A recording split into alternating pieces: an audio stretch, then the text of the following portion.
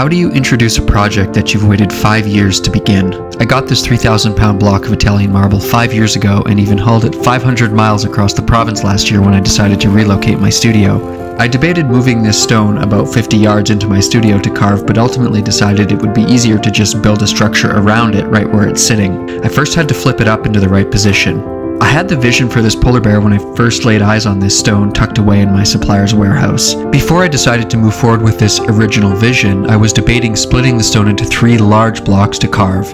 I'm so glad I stuck with my original vision and am moving forward with one large monumental piece. I love how the stone is nestled into the trees and surrounded by nature, so much so that a bear came to visit before it was chased away by my dog Hazel. I decided to go with these white tarps so I had good lighting inside the studio. It's almost too bright now so I might have to make a few adjustments as we move into the summer months. One of the last things I had to do was move the stone about 12 inches. After all, I anticipate this piece is going to take about 4 months to carve, so I just wanted to make sure I was completely satisfied with its final position before I started carving into it. Now I'm going to build a wood floor around the piece so I'm comfortable moving around the stone during the carving process. It's so exciting to finally be at this stage. Honestly, I didn't know if I was ever going to carve this piece and actually almost sold this block last year, but here we are. Time to make the studio official with my sign, and here we go.